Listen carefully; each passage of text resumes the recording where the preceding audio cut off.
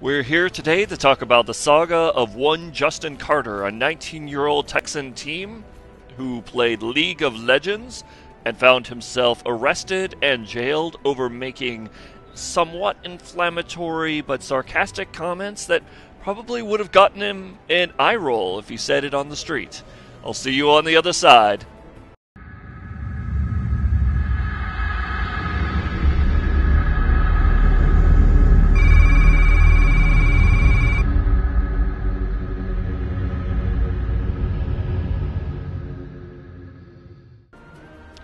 Morning, Internet. I'm your host, Amarist, and welcome once again to another MMO Anthropology. We are in the lovely world of Neverwinter, with some nice floating rocks in the background, to talk about what's going on with Justin Carter right now, who is a League of Legends player who unfortunately felt the need to say some interesting things on Facebook.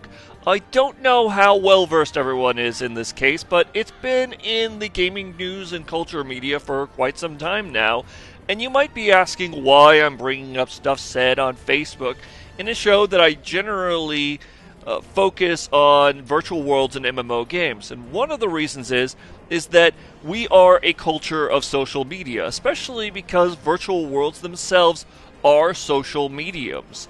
And while virtual worlds are life worlds for many of these people who enter into them and they generate their own cultures and contexts within them, players produce communities that also use external media such as Facebook, Twitter, uh, message boards, wikis, and etc.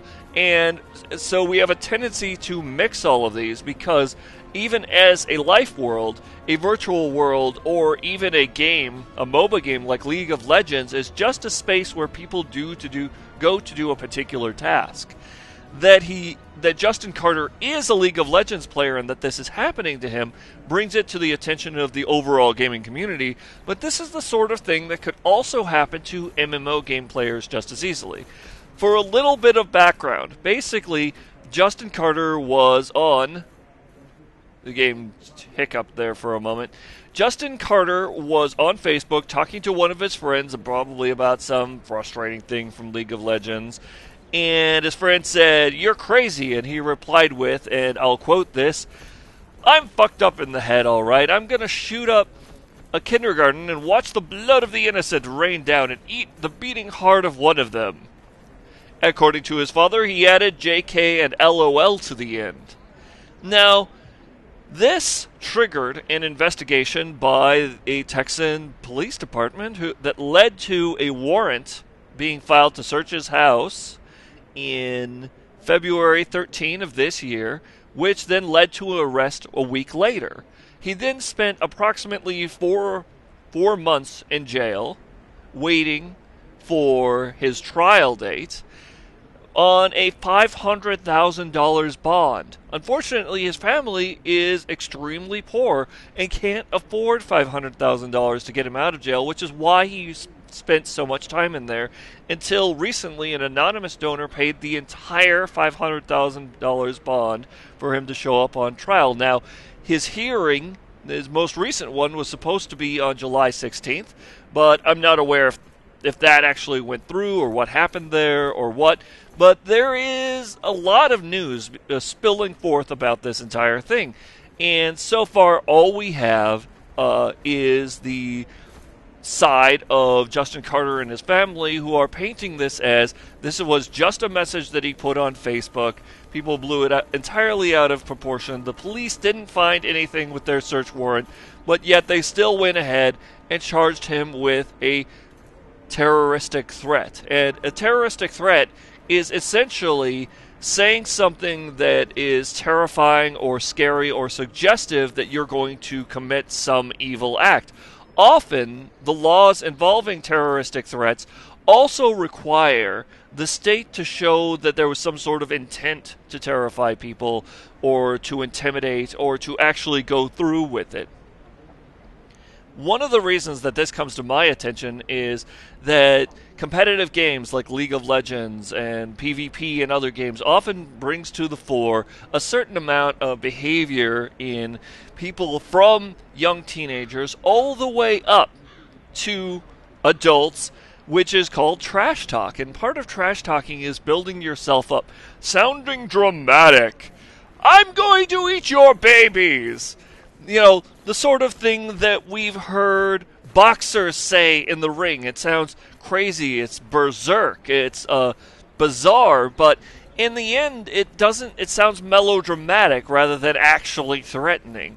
And I, I bring "I'm going to eat your babies" up because of not just because of Mike Tyson, but because I play enough Borderlands 2 that half of the characters in the game say this sort of thing, and it feels like the same sort of threat, although probably a little bit, yeah, weirder than that. Hold on, let me move. Now, in this case, it was pulled out of Facebook. His statement was if, in fact, he had added JK or LOL, we could speak to, well, how would we react if someone had said this on the street or sitting in a table at a restaurant next to us? If JK and LOL were part of this, uh, actual signifiers of sarcasm, he'd probably have been sitting there gesticulating oddly, chuckling to himself as he said, I'm going to shoot up a kindergarten and watch the blood of the innocent rain down, and then I'm going to eat a beating heart. And more than likely, he would have gotten an eye roll from his companions or people from other, you know, sitting at other tables, but it's unlikely that the police would have ever looked into this sort of thing because, well, people say bizarre, melodramatic things all the time especially youngsters, one might admit. Instead, this being on Facebook uh, developed into an investigation by the police department, who then decided that they had enough information about him to go forward with a charge. Now, we don't know almost anything about what the police department actually has on him. All we know is that his lawyers and parents say that the warrant revealed absolutely nothing from his house, that his parents are, that his family is very poor and unable to afford, well, $500,000. I couldn't afford $500,000. And often, this sort of behavior, uh, thinking that it's funny to laugh about shooting up a, um, a kindergarten, is often met and controlled with just generic social opprobrium. Simply rolling your eyes and, and saying, Yeah, yeah, yeah, I know you're kidding, but that's that's kind of that could be taken wrong. We say that often.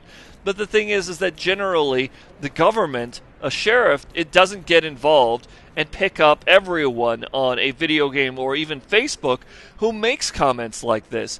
We've seen uh, police officers threatening to kill a presidential, like the first lady. We've seen people on comments and forums uh, suggesting all sorts of violence. It feels more like he's been singled out for some weird reason than any actual underlying premise. And as a result, the gaming community, noting that he's a League of Legends player, aside from you know that League of Legends apparently has a a culture of somewhat toxic players who have a tendency to yell at each other, and we're all fully aware of how on Xbox Live a lot of people are muting other people for shouting epithets or profanity or their trash talk going overboard. And some of us would like police to become involved and arrest these people and take them away, but but really just the mute button is often more than enough. And the way that that our society already controls people who make jokes like this is mostly involved in telling them that it's kind of stupid and that maybe they were a little bit over dramatic. Justin Carter's case is a weird con- uh, confluence of different events. It's a, a kid who thought that he was talking to one of his friends speaking out loud in a public fora, Facebook, that could be seen by other people in a fashion that's probably accepted by his friends. Uh, joking about uh, bad acts or terrifying things or even violence isn't even as threatening as trash talk.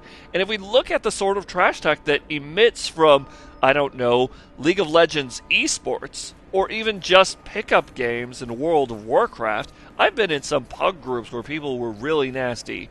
The police didn't become involved in those. I just hit the ignore button and never saw them again.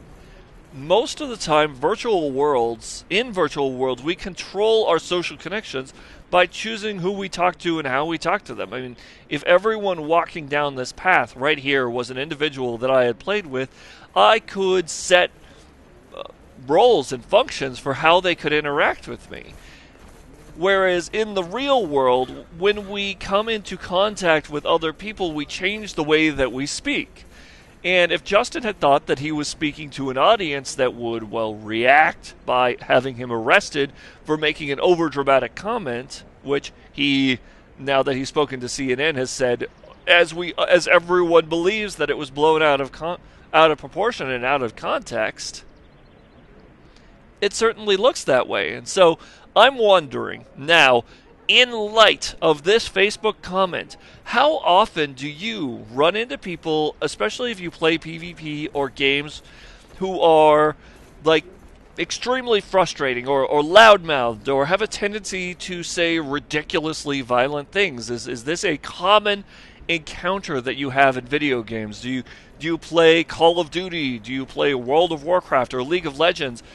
Uh, what do you do when you run into an abusive player and how easy is it for you to tell the difference between someone who is joking about doing violence to uh, some generic group, or I should say, even you, depending on how the trash talk is developing, and someone who is just joking? I'm looking for your experiences in how you react, because I know some of us actually yell at our computers and rage, but we don't type it in to, for other people to hear. There's there's definitely a, a barrier there. But then the ones who do type it in think that they've got an audience who are used to this sort of thing, or at least I suspect that they do. So I'm wondering where where do you put the line? Have you crossed the line? Are you used to people yelling at you? And would you really like to see someone put in in prison for for saying this, especially if they had demarked it in the way that all of us, especially those of us online, recognize jokes by putting JK and LOL on it? Or would you prefer that a bunch of people say, hey, that was kind of inflammatory and stupid? Meanwhile, that's it for today. Thank you for listening. You should read all the articles below about Justin Carter and the saga that is still developing. There will probably be more news on this soon. Meanwhile, also, see you later, good night, and good dreams. Well, that's it for today. Thanks for coming along. Of course, if you're interested in what's going on with the Justin Carter case, I'll be following it as things develop. So you should follow the MMO Anthropology Twitter as usual. If you like what you've been hearing, and I hope I've earned your like, hit the like button. And if you're interested in the anthropology of online worlds and video games and virtual worlds and culture, subscribe. And if you have anything to say about what I've been talking about today, leave a comment. Meanwhile, as usual, like, comment, subscribe, or I will eat your babies.